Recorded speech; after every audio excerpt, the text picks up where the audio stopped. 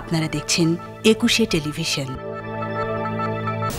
জাতির পিতা বঙ্গবন্ধু শেখ মুজিবুর রহমানের হত্যাকারীদের চিহ্নিত করে তাদের শাস্তি নিশ্চিত করা হবে বলে জানিয়েছেন মুক্তিযুদ্ধ বিষয়ক মন্ত্রী আকুম মোজাম্মেল হক। জাতীয় প্রেসক্লাবে পরমাণু বিজ্ঞানী ডক্টর এম ওয়াজেদ মিয়ার আশিতম জন্মদিন উপলক্ষে আয়োজিত আলোচনা সভায় যোগ দেন মন্ত্রী। এ সময় বলেন, জাতীয় কমিশন গঠন করে বঙ্গবন্ধুর হত্যাকারী মুশতাক ও জিয়া সহ দেশীয় ও আন্তর্জাতিক চক্রান্তকারী সবাইকে আইনের আওতায় আনা হবে। আলোচনায় ডক্টর ওয়াজেদ মিয়ার স্মৃতিচারণ করে তার বর্ণাঢ্য জীবন নতুন প্রজন্মের কাছে তুলে ধরার আহ্বান জানান আকুম মোজাম্মেল হক।